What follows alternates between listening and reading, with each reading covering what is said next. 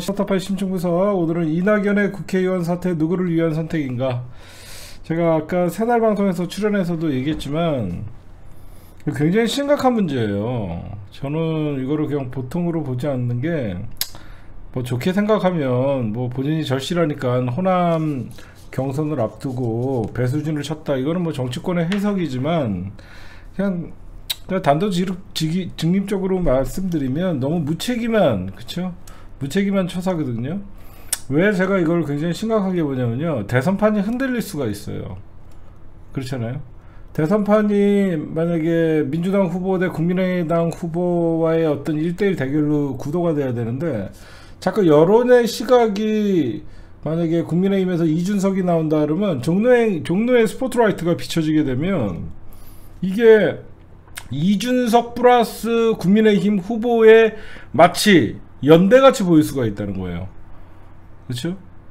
저는 그게 가장 큰 문제를 대선판을 흐트러뜨려 버렸어요. 본인의 욕심을 채우기 위해서. 어? 여러분들 보시면요. 국회의원이 사퇴를 할 때는 큰 도덕적 결함이 있는 윤이 땅이 땅이 숙이나 그렇죠? 땅이 숙이나 아니면 본인의 지역구에서 큰 사고가 나갔고 어, 본인이 시, 어, 어떤 그 큰 책임을 져야 될 때나 대의를 위해서 본인이 어떤 국회의원 사퇴직을 던질 수도 있는 건데 도대체 이낙연의 사퇴는 무엇을 위해서 사퇴는 거 하는 건지 본인이 호남 경선을 앞두고 본인의 표를 다 얻기 위해서 배수진을 친 것밖에 다른 이유가 없잖아요. 아니 그것도요 경선이 몇 개월을 하는 것도 아니고 다음 달 10일이면 끝나거든요. 진짜 25일 남았어요. 25일. 25일만 참으면 그냥 민주당은 한 석을 더 갖고 갈 수 있는 거예요. 그렇잖아요. 그냥 10월 10일 날 경선이 끝나면 자기가 대선 후보가 되면 그때 사퇴해도 되고 안 되면 그냥 지역구 지키면 되는 거거든요. 어?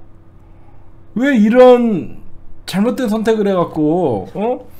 여러분들 제가 아까 새날에서 말씀드렸지만 정치 1번지가 왜 종로라는 소리 들었냐면 어, 여야 할 것 없이 대권 후보, 그러니까 결국은 종로에서 국회의원 당선된 사람들이 뭐 노무현 대통령도 그랬고 대통령이 되셨고 어 쥐새끼도 그랬고 하여튼 거물급들이 종로에서 붙는다라고 정치 1번지 그런 그 이미지가 있었는데 앞으로 민주당은 정치 1번지라는 종로에다가 후보를 낼 수가 없어요. 종로 국민들이 바보입니까? 이번에 또 거물급 나왔다가 또 뭐 대선 나간다고 사퇴한다. 아니 무슨 종로 구민들이 어 대통령 경선 뒤, 뒤받쳐주는 어떤 지역구 국민들도 아니고 여러분들 지역에서 국회의원 왜 뽑습니까? 아무래도 우리 지역이 다른 지역에 비해서 조금이라도 더 잘 되는 지역 그리고 어 좋은 동네 만들기 위해서 그게 사실 그 국민들이 직접 선거를 하는 이유 중에 하나거든요. 나를 위해서 우리 지역구를 나를 우리 나 대신 우리 지역구를 위해서 대신 국회에서 일해 달라. 그런 거거든요. 지금 나 대신 국회에서 일해 달라라고 뽑아놨더니 나 대선 나가야 돼. 그러니까 국회의원직은 지금 필요 없어. 던진 거예요. 그럼 뭐예요? 종로 국민들 우습게 보고 종로 국민들이 바보입니까? 다음에 민주당 후보 찍겠냐고요. 어떤 사람이 저한테 말을 바꿨다고 얘기하는데 말을 바꾼 게 아니에요. 처음에는 이낙연이 사퇴를 하면 그 지역에 개인적으로는 추미애 장관이 출마해서 그 보궐에서 승리하면 국회의장을 가져올 수 있겠다라고 생각했는데 가만 생각해 보니까 지난 4.7 재보궐 선거를 봐도 박영선 후보 같은 강한 후보가 없었거든요. 지금 서울은 부동산 이 부동산값 폭등 그리고 여러 가지 악재가 많다 보니까 지금 어떤 후보가 나와도 민주당이 이길 수 있는 싸움이 굉장히 힘든 싸움이에요. 그런데 저 따위로 만들어 놓고 지금 만약에 제가 왜 처음에는 추미애 장관님이 가갖고 이기면 이기면 좋죠. 이기면 금상첨화지만 추미애 장관님이 지금 갔다가 지는 순간 또 정치적인 큰 타격을 입거든요. 그쵸? 저는 그 생각을 해서 지금 뭐 이낙연이가 나가는 건 굉장히 잘못됐다라고 비판한 거지 어떤 사람이 뭐 제가 말을 바꿨다는 게 아니에요. 안 해도 될 선거를 해갖고 망쳐놓은 여러분들 잘 보시면 서울시장 이번에 사실 재보궐선거나 부산시장 선거 굉장히 빅매치였지만 사실 민주당이 갖고 있던 지역구에서 선거 안 할 수도 있던 선거구였거든요. 다 사고 지역으로 빠지는 바람에 재보선이 일어난 거거든요. 민주당이 사고 지역으로 원래의 민주당 지역구였는데 그그 그 지자체장이었는데 결국 민주당에 문제가 생겨갖고 다시 하면 민주당이 불리한 선거거든요. 지금 똑같은 현상이에요. 그래서 제가 여러분들에게 아 이러다가 만약에 추미애 장관이 이기면 금상첨 하지만 추미애 장관이 질 경우에는 이건 추미애 장관님한테는 엄청난 정치권 타격이거든요. 그래서 제가 아 이건 아니다 라고 생각을 한 거거든요. 그리고 저는 진짜 명분도 없고 실리도 없고 그냥 지 대선 후보가 그 이재명 이기겠다고 1등 해보겠다고 저렇게 헌식창처럼 국회 한 명한 명이 헌법기관인 국회의원직을 던지고 어? 그 밑에 있던 국회의원 보좌관들은 무슨 죄야? 어? 아홉 명 백수로 만들고 어? 쥐밖에 모르는 거죠. 안 그래요? 남을 조금이라도 배려하고 국민들에게 조금이라도 양심이 있으면 왜 던져요? 25일만 버티면 민주당 경선이 끝나면 조용히 국회 국회의원직 어? 맡으면서 나는 던진 것도 정말 마음에 안 드는 게 뭐냐면 국회의원직을 유지하고 있으면 지역구에서 선거운동을 해줘야 돼요. 선거운동 안 하겠다는 거예요. 어? 지역구 던지고 나름 배수진을 쳤으니까 민주당의 후보가 누가 돼도 선거운동 안 하겠다는 거거든요. 그러면 종로구 누가 돕니까? 어? 민주당이 여러분들이 지금은 각 캠프에서 싸우는 것 같아도 결국은 민주당이 이제 대선 후보가 정해지면요 경호 대, 대, 대 이제 대통령의 그 다, 후보로서의 경호 국가에서 경호가 붙고 그 경호가 붙은 다음에 다음에는 민주당이 이제 송영길 체제잖아 지금 지금 송영길 대표 체제에서 이제 이재명 대선 후보 체제로 바뀌는 거예요. 권력이 넘어갑니다. 사실상 대선 후보의 의중에 따라서 당이 운영이 돼요. 근데 그러면 이제 지금이야 캠프에서 싸움 서로 싸우고 뭐 또 네거티브하고 그러지만 대선 후보가 딱 정해졌을 때는 민주당이 유리한 게 뭐냐면 민주당이 전국에서 180석의 지역구를 갖고 있었다 갖고 있다는 갖고 있고 지방 조직들이 세기 때문에 아무래도 대선은 유리한 선거거든요. 근데 굳이 어? 무슨 책임질 일이 있다고 안 그래요? 나는 이해를 할 수가 없어요. 걷다가 만에 하나 제가 자꾸 얘기하지만 이준석이 같은 어린애가 나오면 참신하다고 생각하는 사람들이 있거든요.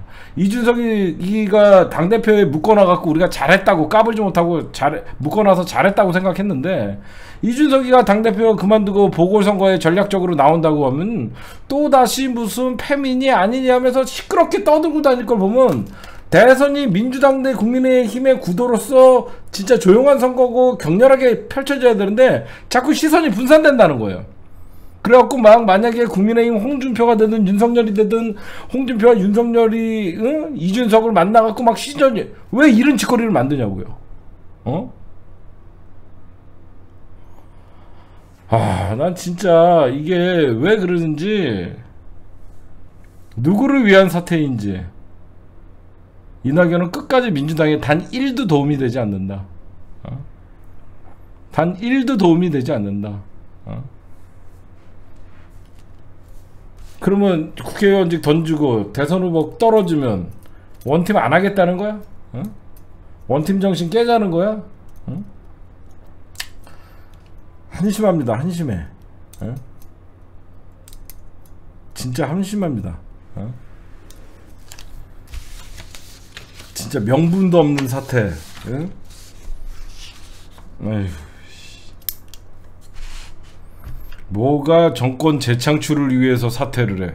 아니 이낙연 사퇴한다고 감동받는 국민들 있어요? 어? 아니 생각해 보세요. 이낙연 사퇴한다 그래갖고 중도층이 흔들려요? 개풀 뜯어먹는 소리 하고 앉아 있네. 어? 이낙연 사퇴해갖고 중도층이 흔들려갖고 민주당을 찍어줍니까? 어? 딸 같은 소리를 해야지. 어? 아유 참. 저는 이거를 이낙연의 국회의원 사태를요 대선판 흐르기로 저는 규정을 합니다. 어차피 뭐 이낙연 캠프의 블랙리스트로 찍힌 저 입장에서는 이거는 이낙연의 대선판 흐리기다. 어?